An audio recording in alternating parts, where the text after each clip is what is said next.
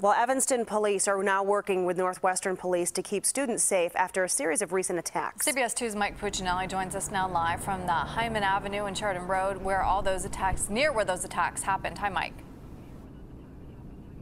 Hi, and we expect to see police from Evanston out here both on foot and in their squad cars because, well, the latest attack happened right here on Hinman Avenue, which you see behind me right now. As we push in with the camera, I want to give you a sense of just how close the other ones are to this very spot. You can see a traffic light in the background. That's Chicago and Sheridan. That's where the first attack happened. And then just about 100 yards west of that light, that is where the second attack happened. So we're talking about a very, very close area. They all began a couple of days before Halloween and continued for nearly two weeks.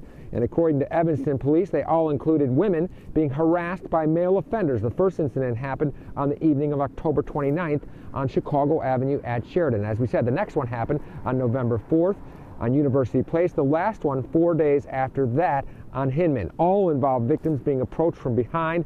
That's when University police say the assailants either grabbed the victims or their backpacks. One man was arrested in one of the incidents. The second one, no one has been busted in the other two cases. And the final incident actually involved two men. That's why investigators at this point don't believe the incidents are linked. Now, police are asking students to take their headphones off or at least turn them down so they can be more aware of their surroundings. They are also saying they should utilize the ride share program that is offered here at the university. These rides are offered for free to any university student or faculty member who calls and needs a ride between the hours of 7 in the evening and 3 in the morning.